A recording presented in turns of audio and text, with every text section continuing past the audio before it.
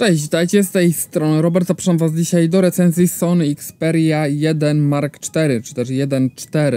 Kolejnego smartfona od Sony, który wiele rzeczy robi bardzo, bardzo dobrze. Jest kilka usprawnień, natomiast uważam, że nadal to jest telefon, który przez swoją specyfikę, szczególnie aparatu, bardzo mocno zawęża pole, czy tam liczbę odbiorców tego telefonu. I zaraz do tego przejdę. Ale zacznę od pudełka, bo doświadczamy tutaj kolejnego absurdu, a mianowicie nie stajemy już nawet kabla. Moje zdanie jest e, dość proste i jasne, mówiłem o tym wielokrotnie. Nie będę obrażał się, jeżeli procenci nie będą dawać adaptera czy kabla w środku, pod warunkiem, że jeżeli mówimy faktycznie o ekologii, to nasze stare adaptery możemy wymienić sobie w salonie czy w sklepie, który jest partnerem danego producenta, żeby można było wymienić sobie po prostu na nowy adapter. Czyli oddajemy, nie wiem, 300 adaptery i dostajemy nową zapakowaną ładowarkę e, bez opakowania, skoro już tak dbamy o tą ekologię i wtedy to jest uczciwe. Ale ograniczanie telefonów właściwie już do tego, że nie dostajemy kabla e, jest rzeczywiście, bym powiedział, wręcz chore. E, dlatego, że kupujemy telefon, którego nie jesteśmy w stanie naładować. W sensie kupujemy telefon na wyjeździe, załóżmy, że mamy stary z jakiś mikro USB albo przerzucamy się z iPhone'a i nie jesteśmy tego, tego telefonu w stanie naładować zestawem pudełkowym to powinno być generalnie zakazane moim zdaniem. W sensie powinniśmy mieć adapter e, i kabel, a jeżeli nie, to żeby był jakiś sensowny mm, taki projekt, y, powiedzmy, wymiany starych adapterów na nowe, żeby rzeczywiście, jeżeli dbamy o ekologię, ok, oddajmy stare adaptery, żeby one poszły do recyklingu, żeby wyciągnąć z nich te rzeczy, które są wartościowe, e, przełożyć do nowych ładowarek, ale żebyśmy dostali tą ładowarkę e, również w sklepie.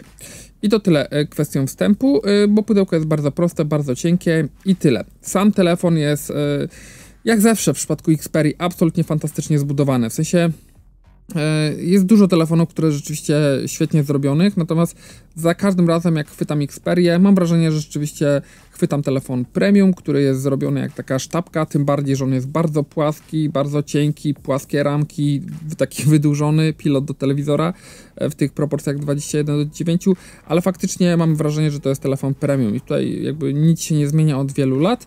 I te ostatnie Xperie, które rzeczywiście są, każda jest matowa i te ramki są matowe i one rzeczywiście odpowiednie przyciski mają perforowane, wszystkie są dobrze spasowane, tutaj żadnych zastrzeżeń nie mam.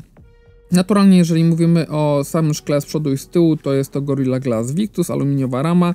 E, po prawej stronie przycisk do regulacji głośności na bardzo dobrej wysokości, w sensie mógł być może trochę niżej, ale generalnie jest naprawdę bardzo dobrze. Dość krótki, na to zwracam uwagę. E, że nie każdemu musi się to podobać, ja wolę też troszkę dłuższe, ale skok jest bardzo dobry, nic tutaj nie lata, przycisk jako skaner odcisków palców optyczny, zatopiony troszeczkę jakby poniżej progu same, samej ramki, e, działa bardzo dobrze, tak do pół sekundy się odblokowuje, nie jest to takie momentalne powiedzmy jak u konkurencji, e, ale też nie obrażam, działa dobrze i właściwie za każdym razem. Z tych takich rzeczy, o których jeszcze tutaj warto wspomnieć, to to, że to nie jest ostatni przycisk, e, czy ostatni element powiedzmy na tej krawędzi, bo mamy również fizyczny spust migawki, który jest perforowany i to jest jedyny przycisk, który wydaje jakiś dźwięk, ale on przez to, że po prostu ma ten taki dwustopniowy e, skok, czyli że na początku sobie do połowy klikamy, żeby jakby wyłapać ostrość i później dopiero mocniej, żeby zrobić zdjęcie. E, górna krawędź to mikrofon do redukcji szumów, jest złącze sławkowe, o tym za chwilę. Po lewej stronie mamy krawędź wolną, na dole natomiast mamy oczywiście slot e, na dwie karty nano SIM lub ewentualnie microSD. To jest jeden z ostatnich flagosów, który umożliwia rozbudowanie takiej pamięci i co więcej, w wielu miejscach, jeżeli chodzi o tryby podstawowe czy tryby pro, nagrywanie zdjęć, robienie zdjęć czy nagrywanie filmów, jeżeli mamy odpowiednio szybką kartę, można zadecydować o tym, żeby automatycznie od razu te zdjęcia były robione na karcie. Coś, co się też nie zdarza często i na to zwracam uwagę. E, no i to ten slot jest też taki, że to jest jeden z niewielu, chyba jedyny właściwie slot, który można wyjąć sobie paznokciem i e, nie potrzebujemy do tego szpilki. Jeżeli ktoś często zmienia kartę microSD, to rzeczywiście bardzo przydatne. E, natomiast jeżeli włożymy jedną i kartę nano SIM tak samo, E, to raczej myślę, że mm, nie robi to jakiegoś większego znaczenia. E, no i mamy podstawowy mikrofon USB typu C. Bateria to 5000 mAh. Oczywiście w zestawie nie dostajemy ładowarki. Zwrócę tylko uwagę, że Sony akurat ma ten standard Power Delivery, czyli taki bardzo powszechny. Nie jest to standard jakiś tam wymyślony przez nich do szybkiego ładowania. Czyli faktycznie ładowarka, która ma Power Delivery i kabel e, to spełniające, faktycznie w 30 minut do 50 minut ładujemy, godzina 25 do 35 do pełna.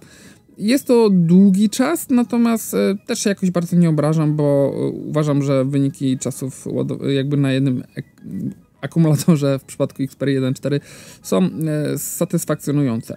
E, Xperia 1.4 wytrzymuje tak od 4 do 6 godzin SOT-u, czyli to są takie mm, 1 do 1,5 dnia intensywnego. Jak mocniej dociśniemy telefon, raczej do wieczora nam się rozładuje, e, ale Xperia ma bardzo dobry standby, w sensie jak telefon leży, nic z nim nie robimy, nawet jeżeli jest włączony Always on Display, e, ono się przygasza i generalnie telefon wytrzymuje całkiem nieźle.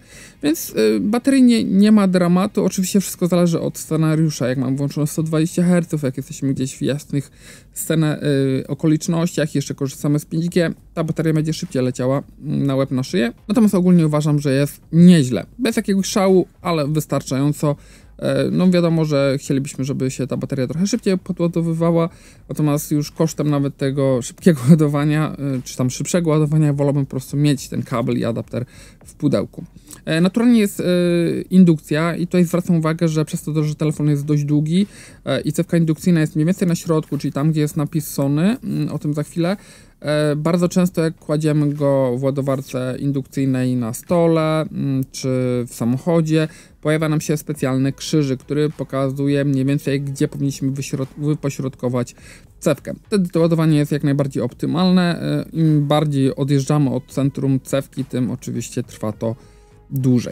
E, natomiast przechodzimy sobie do dźwięku. Dźwięk jest bardzo dobry. Głośniki stereo zawsze są lepsze od głośnika mono. E, bym powiedział, że jest e, bardzo bogaty ten dźwięk. W sensie i są niskie tony, chociaż niskie, ale nie ma basu, tak bym to ujął. W sensie są niskie, wysokie tony, e, rzeczywiście jest to nieźle wypośrodkowane. Mm, ta separacja jest też nieźle słyszalna, chociaż no, mam wrażenie, że jednak dolny głośnik troszeczkę tutaj dominuje. Tak czy siak jest nieźle, ale daleko mu oczywiście E, do powiedzmy Samsungów moim zdaniem. Samsungi lepiej grają, chociaż też tam nie ma jakoś dużo basu. Nie porównuję w ogóle tego z iPhone'ami, czy z Rockfonem 6, czy w ogóle z Rockfonami, bo jednak wypada to tutaj, e, no myślę, znacznie gorzej. Jest oczywiście Dolby Sound i 360 dźwięk, taki dookólny. E, personalizacja jest dość trudna, bym powiedział, w sensie dla takiego statystycznego użytkownika, bo większość op opcji jest wyszarzonych. Na dzień dobry musimy rzeczywiście podłączyć słuchawki, więc część jest tylko jakby mm, dedykowana bezpośrednio dźwiękowi właśnie na słuchawkach, a nie na głośniku yy, i trzeba mieć tego świadomość. Efekt finalny jest taki, że, że na pewno w ustawieniach na dzień dobry trzeba sobie włączyć ten Dolby Sound, bo nie jest on włączony. E, I tak jak mówiłem, te efekty są dobre. To się ja nie mam tu jakichś wielkich zastrzeżeń, ale, ale na pewno nie jest to najlepszy zestaw głośników, jaki słyszałem, szczególnie jeżeli mówimy o tym przedziale cenowym. Ale warto wspomnieć również o e, mikrofonach, e, które tutaj są wbudowane e, i mamy oczywiście specjalną aplikację Mic Pro, która umożliwia nagrywanie zdecydowanie lepszego dźwięku. Jest również dodatkowy filtr taki przeciwwiatrowy, który jest oczywiście elektroniczny i na to też zwracam uwagę. Natomiast jak na dźwięk nagrywany smartfonem, bez żadnych dodatkowych mikrofonów podpiętych po to w stylu krawatówki czy coś, uważam, że dźwięk e, jest bardzo czysty, bardzo dobry i próbkę możecie teraz tego usłyszeć, bo ten fragment akurat jest właśnie w ten sposób nagrywany. Przechodzimy sobie do tyłu, tak jak mówiłem, ta powierzchnia Gorilla Glass Victus, płaska, e, bardzo ładnie to wygląda, matowa, nie zbiera jakoś dużo odcisków palców, jak już to bardzo łatwo to dotrzeć. Mm, oczywiście zestaw obiektywów wystaje po lewej stronie, tak podłużnie, trochę inny niż ostatnio. E, natomiast zwrócę również uwagę na diodę doświetlającą, która jest e, tak w narożniczku. E, ona nie jest specjalnie duża w, porównaniu do konkurencyjnych telefonów i wydaje mi się, że ona też jako taka latarka się najgorzej sprawdza. W sensie akurat tak to też testowałem. Jest czujnik jakby kolorów i balansu bieli. No i oczywiście mamy tak na dobrą sprawę cztery obiektywy. Podstawowy jest 1.7 to jako 24 mm optycznie stabilizowany. Później mamy ultra szeroki kąt 124 e, stopnie i to jest 12 megapikseli. Oczywiście z autofokusem, tu optycznej stabilizacji nie potrzebujemy. E, mamy to w 3D jako takie 0,3 megapiksela do wykrywania głębi i po prostu tworzenia tych obrazów bokeh. No i ten najbardziej wyjątkowy, czyli 12 megapikselowy ze światłem 2.3 e, lub 2.8 w zależności od tego jak bardzo mamy wyciągnięty ten teleobiektyw, bo jest to teleobiektyw ze zmienną ogniskową, ale nie taką, taką cyfrową, tylko faktycznie taką e, jakby mechaniczną, czyli przestawiamy się od położenia 3,5 do 5,2 e, i rzeczywiście co jedną dziesiątą możemy się przełączać e, w tym obiektywie i rzeczywiście za każdym razem jest to inne mechaniczne nastawienie tego obiektywu. E, jakby w domyśle świetne rozwiązanie, natomiast pokażę Wam też, dlaczego ten mm, zakres tych ogniskowych jest no moim zdaniem zbyt mały, żeby dawać jakiś tam realny e, sens. W sensie wolałbym, żeby był ten zakres ogniskowych dłuższy, ale z większym skokiem. Nie potrzebuję co jedną dziesiątą, mogłoby być to zbliżenie co jeden raz nawet, e, bo tam powiedzmy do jednego raza nawet powiększenia jakieś cyfrowe to nie będziemy widzieć tej różnicy, e, ale faktycznie gdyby był ten zakres tych ogniskowych większy, to byłoby to znacznie fajniejsze. Ogólnie chyba tam do 15,6 można przybliżać cyfrowo e, w tym trybie tym podstawowym, z którego pewno większość osób będzie korzystała. I tyle. E, natomiast do aparatu przejdziemy sobie za chwilę. Wracamy do przodu, do ekranu. Do ekranu, który oczywiście jest ekranem OLEDowym z miliardem kolorów 6,5 cala 1644 na 3840 pikseli, tak jak mówiłem 21 do 9. Jest to ekran 4K, tak skalowany, y, ponad 640 punktów na cal, więc jest rewelacyjny, jeżeli chodzi o ostrość, chociaż oczywiście nie cały czas wyświetla rozdzielczości 4K, tylko w odpowiednich momentach. Jest to ekran również 120 Hz, e, natomiast tutaj no mam sporo zastrzeżeń co do 120 Hz, bo oczywiście widać, że 120 Hz jest płynniej niż 60, natomiast telefon bardzo często e, wraca jakby do tych 60. Są podane dwa przypadki, czyli e, albo ultrastamina, albo wtedy, kiedy telefon się nagrzeje. To się zdarza, e, o tym później, natomiast rzeczywiście widać, że, że on po prostu czasami gubi te klatki i to nie jest właściwie gubienie klatek, tylko powrót do tych 60 Hz, co jest dość mocno widoczne, niestety. E, ale ogólnie ekran, e, jeżeli chodzi o ramki po lewej, po prawej są bardzo małe, u góry na dole, no już nie autostrady, ale jednak widoczne. Fajnie, że wygląda to symetrycznie.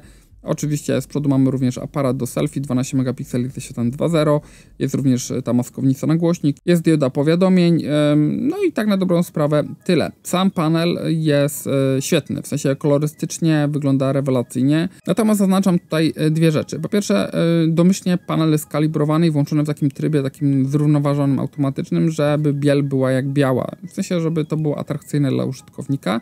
Natomiast jeżeli ktoś myśli mm, o tym telefonie i kupuje go z zamiarem właśnie jakby tych e, zaawansowanych ustawień Cine Alta i tak dalej, żeby filmy wyglądały tak, jakbyśmy chcieli, powiedzmy, jak najbardziej wiernie je oglądać, czyli bardziej w tych takich e, kolorach teal and orange, e, to wtedy no nie za dużo jest, ma tutaj ten wyświetlacz wspólnego z rzeczywistością, w sensie wszystko będzie trochę wyrzucone i tak dalej, więc oczywiście zaznaczamy sobie to tylko w, do odpowiednich aplikacji, czyli nie wiem, tam na HBO Max, czy na Netflixie, Disney Plusie i tak dalej, żeby wtedy wyglądało to rzeczywiście e, lepiej, tak jak powiedzmy bliżej tego, jakby wyglądało to w kinie niż na klasycznym telefonie. E, natomiast e, też zwracam uwagę, że proporcja 21 do 9 świetne wtedy, kiedy mamy film 21 na 9 i oglądamy go w poziomie, tak jak klasycznie oglądamy telefon na telefonie film. Natomiast jeżeli film jest w 16 na 9, to niestety, żeby go zbliżyć, bardzo dużo kropujemy, w sensie ucinamy z góry i z dołu bardzo, bardzo dużo i generalnie mocno zawęża nam to pole widzenia mm, i trzeba mieć tego też świadomość, że ok, to jest fajny kinowy wyświetlacz, wtedy kiedy te treści są rzeczywiście kinowe, natomiast na YouTubie, jeżeli oglądamy, to większość osób, które jeżeli widzimy jakieś gadające głowy i ktoś sensownie zostawia powiedzmy troszkę nad głową, żeby rzeczywiście większość tłowia pokazać, to jak sobie zbliżymy, to rzeczywiście ucina nam łeb. I na to trzeba zwrócić uwagę, więc bardzo często może się okazać, że podczas oglądania jakichś wideo, na przykład na YouTubie, bardziej sensownie będzie oglądanie tego w pionie i powiedzmy korzystanie z jakiejś aplikacji e, w dolnej części, do czego stworzony jest właściwie ten telefon, e, niż oglądanie tego w poziomie, bo jednak no, te proporcje są dość nienaturalne. O, oczywiście Always on Display z powiadomieniami, które sobie tak migają w momencie, kiedy przychodzą, więc one się też tam troszkę animują i tak na dobrą sprawę tyle. Wszystkie możliwości, jeżeli chodzi o konfigurację ekranu są na pokładzie, więc tutaj się specjalnie nie czepiam. E, przechodzimy do e, interfejsu. Naturalnie jest tutaj Android 12 na dzień dobry. E, aktualne są poprawki zabezpieczeń. Ja dostałem chyba 3 aktualizacje. Co prawda długo testuję te urządzenia, ale dostałem chyba 3 albo 4 aktualizacje, więc całkiem dużo. Mam nadzieję, że później telefon też będzie tak aktualizowany na bieżąco. Jeżeli chodzi o czysty system prawie, no bo w oparciu o nakładkę Sony, która jest taka mała ingeru mało ingerująca, to wygląda to bardzo dobrze, jest przejrzyście. E, a te kilka funkcji dodatkowych e, na pokładzie oczywiście jest. Jest oczywiście e, ten boczny sensor, który jest teraz podzielony jakby na podręczne takie aplikacje, które możemy sobie wyrzucać, ale również od razu, żeby podzielić sobie aplikacje w trybie kinowym, więc to jest jak najbardziej w porządku. Jest masa gestów, różnych trików, które są, czyli dzielenie ekranu i oczywiście to, że możemy puknąć w ekran, czy możemy go podnieść, on się nam zapali, więc te rzeczy są E, dostępne na pokładzie. Jest oczywiście możliwość chociażby włączenia aparatu szybko e, za pomocą przycisku i wiele innych e, mniej lub bardziej przydatnych rzeczy, o których gdzieś tutaj zaczycie na ekranie. Natomiast wspomnę o wibracji dynamicznej, która oczywiście no, też występuje w tym modelu jak poprzednich. Natomiast pierwszy raz chyba ma jakiekolwiek zastosowanie. W sensie wreszcie wibracja w Sony jest dobra. Nie najlepsza, od razu oznaczam, ale jest rzeczywiście bardzo dobra. Mm, dużo lepsza niż w poprzednich generacjach, bez dwóch zdań, tam była bardzo, bardzo tania jak na tak drogie modele. E, I tutaj rzeczywiście korzystając z wibracji dynamicznej nawet na tym najniższym poziomie mamy wrażenie, że czasami jak ona zawibruje przy muzyce to daje to, to fajnego efektu. Ale wreszcie nie szpecą ani te powiadomienia, które do nas przychodzą, czy funkcje jak gdzieś przewijamy. E, wreszcie czujemy w ręce, że działa to znacznie, znacznie lepiej. Jeżeli chodzi o specyfikację, Snap 8 generacji e, pierwszej, szkoda, że nie z plusem, e, oczywiście telefon wyszedł znacznie wcześniej. E, pamięć UFS 3.1, tu chyba 12 GB RAMu, 256 GB pamięci wbudowanej, to pamięć można rozbudować, tak jak mówiłem. I telefon działa rewelacyjnie. Super płynnie, nic się nie zacina, działa naprawdę bardzo, bardzo dobrze, ale jeżeli go będziemy mocniej dociskać albo będziemy korzystać z maksymalnego podświetlenia ekranu, to telefon potrafi się dość szybko nagrzać. To nie są temperatury, które by powodowały, że telefon e, robi się bardzo, bardzo nieprzyjemny, chociaż zdarzyło mi się tam dwa razy tak. E, tak czy siak e, trzeba mieć na uwadze, że telefon potrafi być po dłuższej rozgrywce czy dłuższym korzystaniu tak permanentnie ciepły. I wtedy też niestety tracimy to 120 Hz chociażby. Czasami pojawia nam się informacja, że nie możemy tam odpalić aparatu. Zdarzyło mi się raz, zdarzył mi się chyba jakiś raz bootlop w telefonie. Było kilka tych takich jakichś problemów, które no nie zawsze występują na innych modelach e, i płynnie przechodzimy z tego miejsca naturalnie do aparatu, do aparatu i teraz ludzie się zapytają, no dobrze, ale do której aplikacji, bo przecież mamy ich kilka, jest e, jakby Foto Pro, jest e, naturalnie Video Pro i oczywiście milion różnych trybów, które są tam dostępne.